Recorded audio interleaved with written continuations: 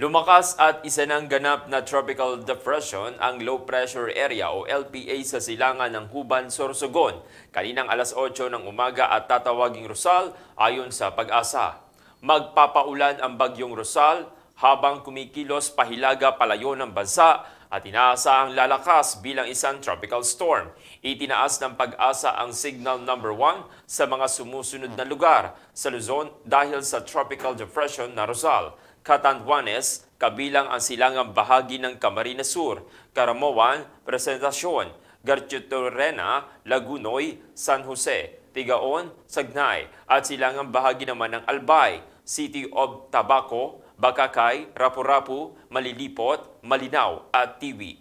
Batay naman sa pag-asa, ang signal number 1 ay aasahan ang hangin na may bilis na 39 to 61 kilometers per hour sa loob ng hindi bababa sa 36 na oras o intermittent na rain sa loob ng 36 na oras. Posible ang moderate to heavy wind at times of intense rains at sa bahagi ng Bicol Region at Quezon habang moderate to heavy rains naman sa Mimaropa at Western Visayas. Samantalang light to moderate with at times heavy rains sa bahagi naman ng Aurora at natitirang bahagi ng Calabarzon at Visayas. Tinatayang babagal pa ang tropical depression na Rosal habang kumikilos pa northward sa susunod na labing dalawang oras bago tumungong north northeastward o northeastward para sa natitirang bahagi ng forecast period.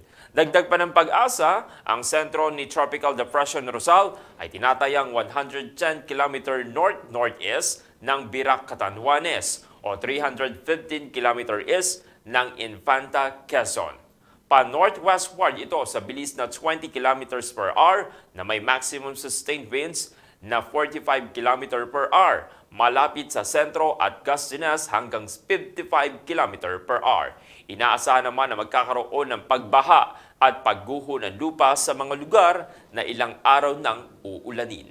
At yan ang ating news speed of the day. Ito po si Jay Pamintuan. Magandang hapon.